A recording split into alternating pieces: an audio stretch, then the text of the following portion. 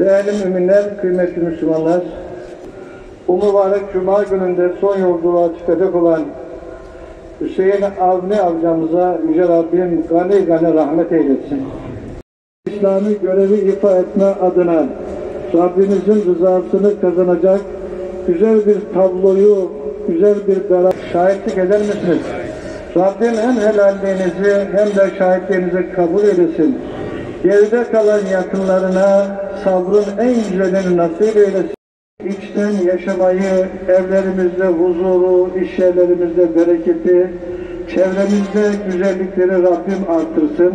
Allahu Ekber.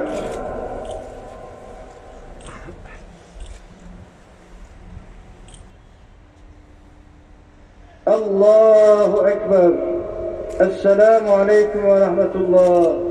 Esselamu Aleyküm ve Rahmetullah. Amin. Geride kalanlarına örnek olan amcamızın cenaze namazını kıldık. Kabul eyle. Kendisine rahmet eyle. Hüseyin Avni amcamızın kabrini cennet bahçesi eyle.